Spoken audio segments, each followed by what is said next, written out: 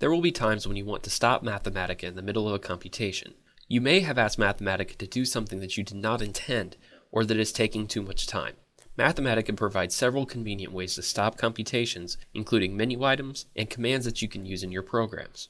To illustrate the stopping or pausing of computations, I'll use one that takes some time to complete.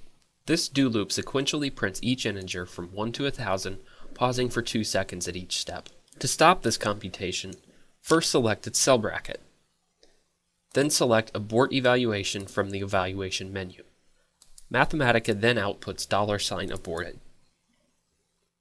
If this does not succeed in stopping the computation, you can do so by quitting the active kernel. To do this, Select the kernel name from the Evaluation Quit Kernel menu. Here, local is the name of the active kernel.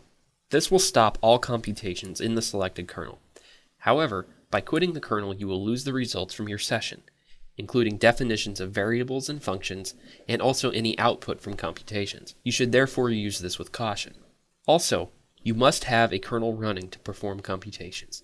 If you quit your only running kernel, you must start one again. To do this, Simply evaluate any expression in a notebook or select a kernel to start in the Evaluation Start Kernel menu. Mathematica also lets you momentarily pause a computation instead of completely stopping it.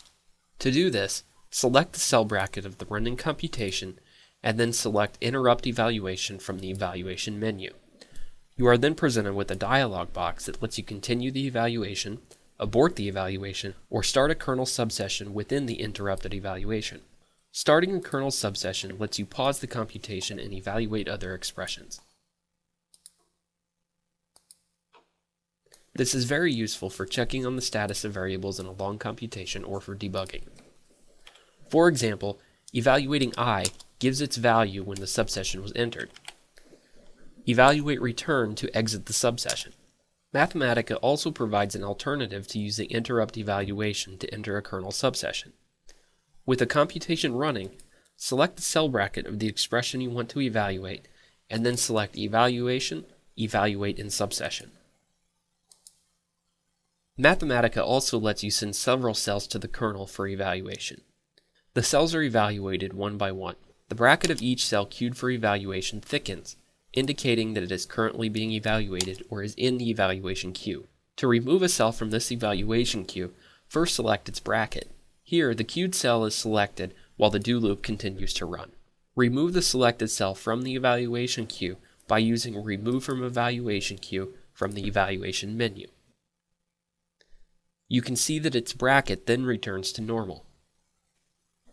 You can also stop a computation by using abort as part of a Mathematica expression.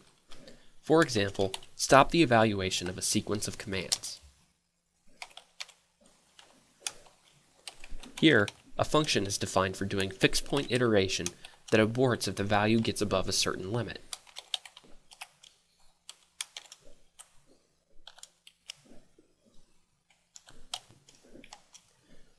This iteration is unstable, so it aborts.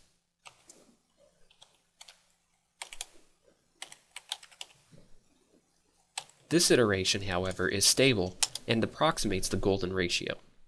For more information, please see the series of how-tos Manage Computations in Notebooks.